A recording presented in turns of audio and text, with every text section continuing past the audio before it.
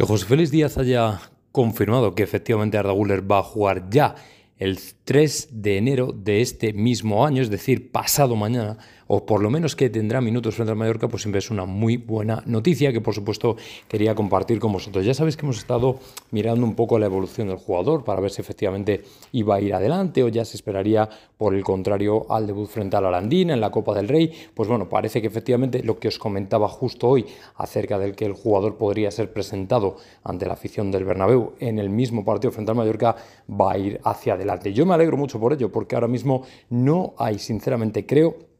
mayor hype que la posibilidad de que efectivamente Arda Guller debute. Es bueno para todos, es bueno para la afición porque se calma, es bueno para él porque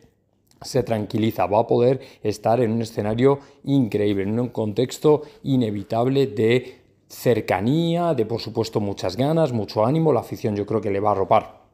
enormemente y a diferencia de haber debutado en un club o mejor dicho en un partido fuera de casa, pues qué mejor que hacerlo ni más ni menos que aquí en casa en el Bernabéu y frente a la afición. Y como digo, viene de José Félix Díaz, que evidentemente sabe muy bien que si efectivamente le han pasado una información acerca de que el jugador por lo menos va a entrar en convocatoria o que tiene posibilidades, pues parece que así va a ser. Así que bueno, pues ya digo, yo me alegro mucho por él porque cuanto antes vayamos terminando con toda esta situación, con todo este rollo de si efectivamente está mejor, está peor, se vuelve a lesionar, o es de cristal o no sé qué, mejor, porque le retiramos lógicamente de todo tipo